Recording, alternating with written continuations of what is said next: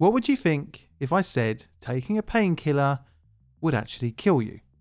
I don't mean like an overdose, but just one capsule equals death. It would make you think twice about taking one, right? Well, imagine not knowing this, that taking over the counter medicine would be a roulette wheel of death. This would be the case if you so happened to get a headache in September 1982 in Chicago and you decided to take a Tylenol.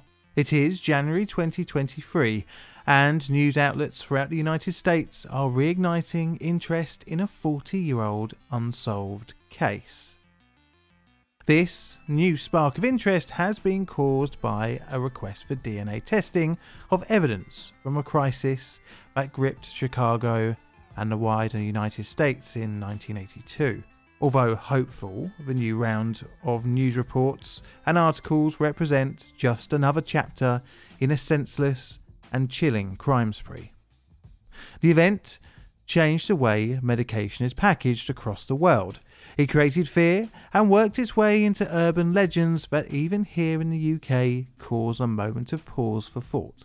Unknowingly, the terror caused 40 years ago is the reason why I was told as a child to always check everything I buy is sealed. Showing how much this event illuminated just how vulnerable the things we consume are from tampering. Today I will be looking at the Tylenol tampering crisis. A chilling, bizarre, and cruel case of seven acts of cold blooded murder. An innocent looking bottle. You must excuse my ignorance, as I've never had a Tylenol. It's not sold here in the UK. And the thought of unsealed medication is a real head scratcher to me. But at least the latter can be chalked down to me being a product of my time, a time post the Tylenol murders. I remember last year, or possibly the year before, feeling disgusted at the trend of ice cream licking in shops. Remember when people would open up ice cream tubs and lick the top? Pure nightmare fuel for a germaphobe like me. Although disgusting, as long as the licker didn't have any oral borne diseases, it was relatively harmless. But it shows that tampering with consumable products is alive and well. But back in 1982, today's case of tampering wasn't for likes on TikTok, but an act of cold blooded murder with a little bit of extortion thrown in. Tylenol is probably very familiar for those in North America, but its main ingredient, paracetamol, is always readily available over the counter across the globe. Tylenol was introduced in 1955 by McNeil Laboratories. Over the years, the brand has released various medications with different ingredients effective in pain relief. One such was Tylenol extra strength. This product has 500 milligram capsules with the active ingredient of acetaminophen, also known as paracetamol. In 1959, Johnson & Johnson bought McNeil, making the company a subsidiary. Roughly one year later, the drug was made available over the counter and prescription free, and from there it took over as one of the most popular pain relief medications available without a prescription. By 1982, Tylenol had a 35% market share. Many have it as their first choice for colds, flus, headaches, toothaches, and migraines. And the Tylenol Extra bottled capsules are a popular choice. Capsules are especially popular. They are made from gelatin, and because of this, they are slippery and easy to swallow. But capsules are also easy to open and close and anti-tampering protection on their packaging was minimal. The bottles that held the capsules came in a paper box with an unglued lid. The red cap on top of the bottle was easily flipped open, with only a little piece of cotton left to cover the contents. Confidence in the brand is high. The product works. But the public perception during a deadly period of a few days in 1982 would be shaken to its core. A deadly few days. It is early in the morning of the 29th of September 1982, and in Elk Grove Village, a suburb of Chicago, Mary Kellerman, a 12 year old girl, is suffering from a runny nose and a sore throat. Nothing particularly out of the ordinary. People get cold symptoms all the time. Usually, if the symptoms are a bit too much, one takes a painkiller. Mary goes to her parents and explains her symptoms to them. They offer her one capsule of Tylenol extra strength. By 7am in the morning, she is dead. In a Chicago area hospital, Adam Janus, a 27 year old postal worker, also died of a suspected heart attack. Upon hearing the news of Janus's death, his sister in law and brother rushed to the family home. Grief often brings a headache. Both took capsules of Tylenol from the same bottle that Adam had earlier in the day. Within hours, Adam's brother, Stanley, aged 25, was also dead. His wife, Teresa, would pass away just two days later. Following days, three more unexplained deaths occurred. 35 year old Mary McFarland of Elmhurst, Illinois, 35 year old Paula Prince of Chicago, and 27 year old Mary Viner of Winfield, Illinois. Now, unexplained deaths of apparently healthy individuals usually sparks concern amongst the authorities, especially in the case of the Janus family, where three died within days of one another. They had all done one thing in common, however taken a Tylenol. In early October 1982, investigators made the link between the victims and Tylenol. Was there an issue with the factory? Once the link was discovered, tests were undertaken on the remaining capsules in the victims' bottles, and a worrying ingredient was found cyanide. Stranger still, the capsules had come from different batches from two different factories, one in Pennsylvania and another in Texas.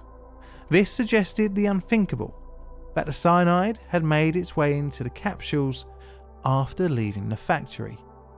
The victims had another similarity. The Tylenol they all had consumed were in capsules and not tablets. It was quickly becoming apparent that the contamination was deliberate and done after delivery to shops. Interestingly, the bottles involved in the deaths of the Janus family members and Mary Kellerman had come from the same batch, named MC2880. Johnson & Johnson initially recalled this lot nationwide, but as more of the victims' pills were tested, it was apparent that lots 910MD and MB2738 were also involved, and this expanded the recall. This would become one of the largest pharmaceutical recalls in history. Tests from pharmacies across the United States localized the cyanide to the Chicago area. The recall was wider in the Chicago area itself, with all extra strength capsules pulled from the shelves. Initially, it was thought that only the victims' bottles had cyanide. This totaled five but tests pulled from bottles found several more also contaminated. Many of the tested bottles were dropped off by the public at police stations. In total, eight bottles were found to have been tampered with. Bizarrely, around the same time on the 5th of October, a man was poisoned with strychnine, which had been added to a Tylenol bottle. This was in California. Luckily, the man had survived, but confidence in Tylenol capsules had collapsed. Trying to reassure the public, Johnson & Johnson distributed warnings to hospitals and wholesalers, as well as halting Tylenol capsule production, advertising, and broadening the recall nationwide, costing the company roughly $100 million. Johnson & Johnson also issued a nationwide offer to replace customers' capsules with their pill variant, and on top of that, the company offered a $100,000 reward for the information leading to the arrest and conviction of the person or persons responsible for the murders. The police were starting to form a theory that after arriving on the shelves of local grocers and drugstores in the Chicago area, random bottles of Tylenol were removed from the shelves, then the capsules were adulterated with 65 milligrams of potassium cyanide and then returned to the shelves to be purchased by any unknowing victim. For reference, the amount of cyanide was 10,000 times over the average amount to kill a person. But although the police had an idea of the method of the poisoning, they had no real leads until Johnson & Johnson received a letter.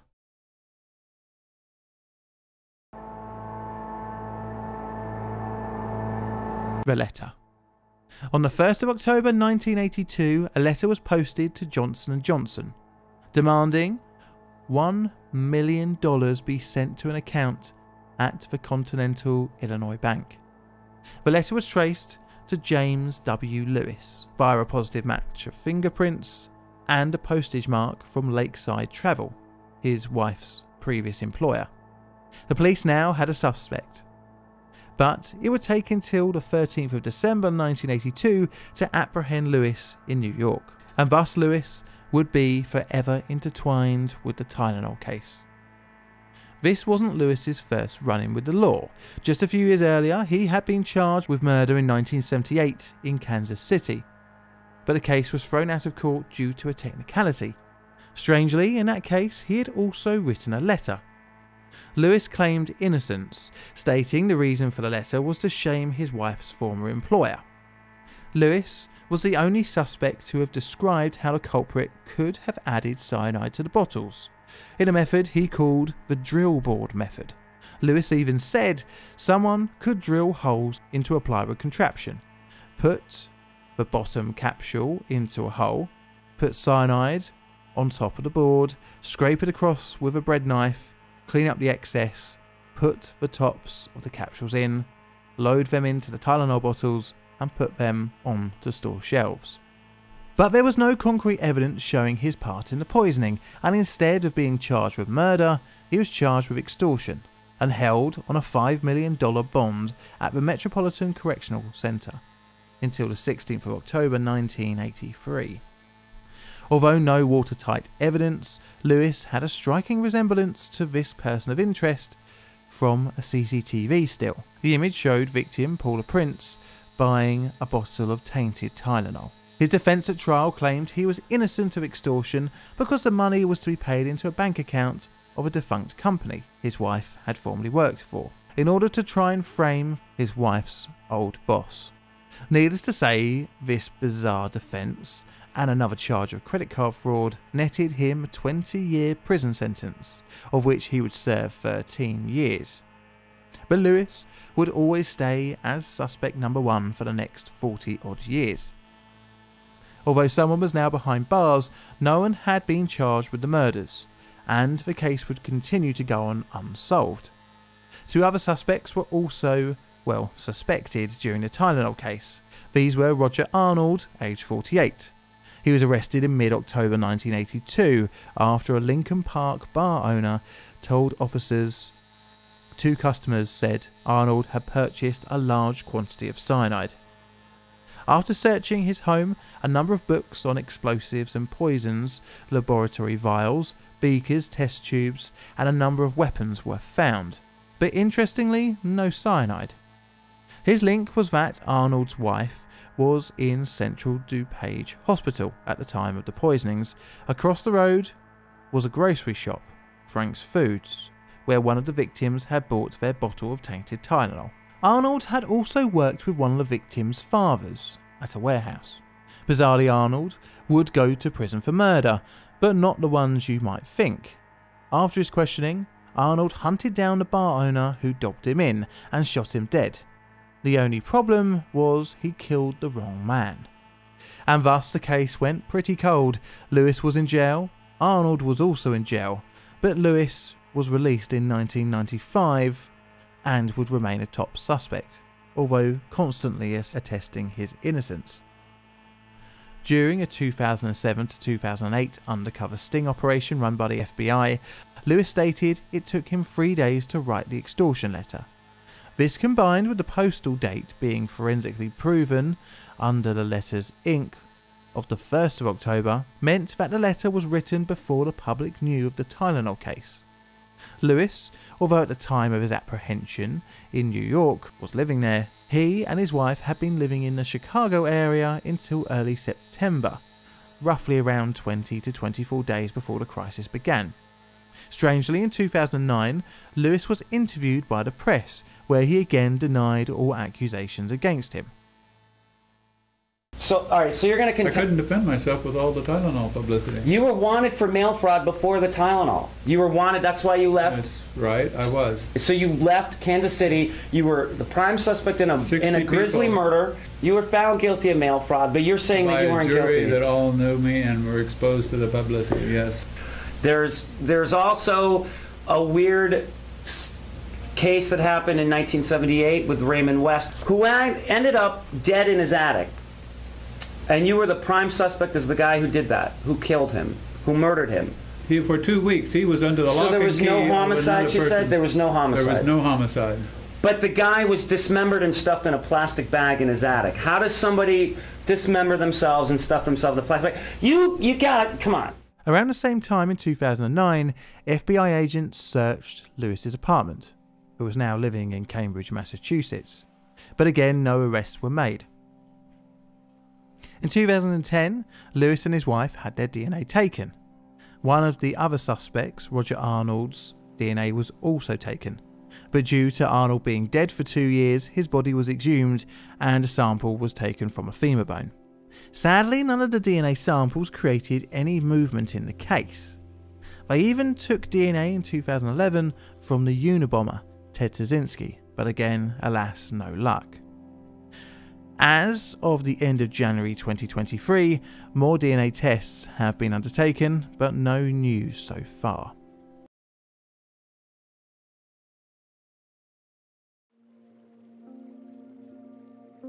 Aftermath. Even though the killer hasn't been identified, the crisis changed the pharmaceutical industry permanently. Johnson & Johnson within 2 months had Tylenol back on the shelves, but with an improved triple seal. Their market share had plummeted from 35% to just 8, but amazingly, this was turned around in just under a year. The event cost the company over $100 million in the recall alone and an undisclosed 1991 settlement with the victims' families. The crisis spawned, unsurprisingly, copycat murders, most notably in 1986, where three people died of cyanide poisoning. New federal laws, post crisis, now made product tampering a federal crime, which, even attempting to tamper with a product, can carry a 10 year sentence. So, for my ratings, today is only going to be a legacy rating, and I'm going to give this one a 9. All videos on the channel are Creative Commons Attribution Share Alike licensed. Playlist for videos are produced by me, John, in a currently wet and windy suburban corner of southern London, UK. I have Patreon members and YouTube members as well, so thank you for your financial support, as well as the rest of you for tuning in every week to watch your dose of disaster. I've got Patreon, I've got Instagram and Twitter, so check them out if you fancy. And if you're enjoying this outro song, please feel free to check it out on my second channel made by John. And all that's left to say is thank you for watching, and Mr. Music, play us out please.